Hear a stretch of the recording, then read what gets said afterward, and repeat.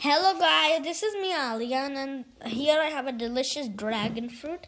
This has some vitamins and is very good for your health. Low of calories and full of vitamins and fiber. It's called dragon fruit because it has these type of horns that are looking like dragon scales. But it's not a dragon, it's a fruit. You can tell if it's a white dragon fruit or red dragon fruit if if it it's the out layer is pink and bright. You can see it's nice and bright. Means inside might be white. Or it might be red. We'll see. It can't be green or other colors. It can only be white or red.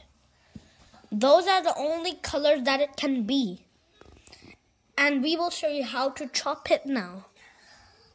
Let's cut it. It's going to be very easy.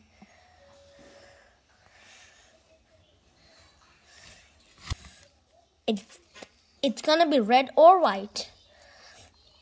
I can see it's white. Voila, look what you have here. Dragon fruit. And also, we are not, don't cut too deep and inside here at the skin layer don't eat this pink inside layer. It will cause little stomach aches. We are to eat the white bit. That's the eating bit.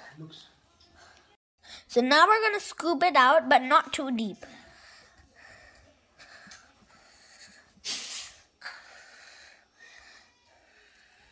There we go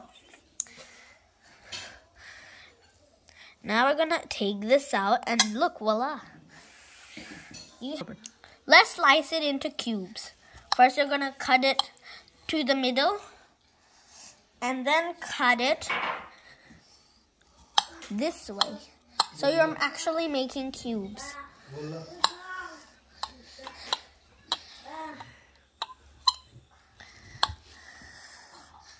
And voila!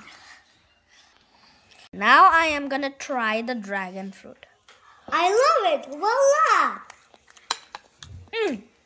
Delicious! Sweet. It's, the seeds are crunchy. I would give it a 10 out of 10. Yep, this tastes good. Voila!